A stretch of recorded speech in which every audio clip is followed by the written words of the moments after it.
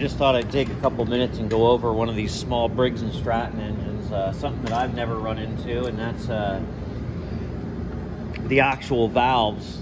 The push rod's not open and closing the valves properly to uh, create the suction to make the, the carburetor suck in the fuel. So originally I thought, ah, it's probably just got some bent push rods or something, but the push rods are okay. And this escalated really quickly. I just had the carb off of it like few minutes ago and then it ended up just ripping the whole thing apart. So I've seen lots of these with plastic governors and, and that kind of thing. And that's, that's completely normal, but um, I don't work on a ton of small engines, but this is very surprising to me.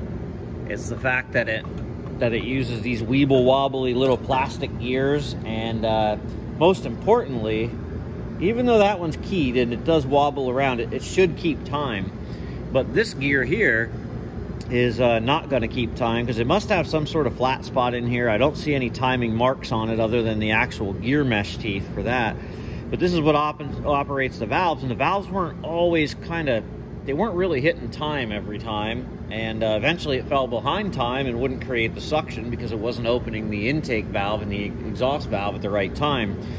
It must have a flat spot on it. You can spin this gear, but that also means it can slip right out of time. So I'm gonna have to figure out where that goes on there and try to restake it to see if I can get this to work.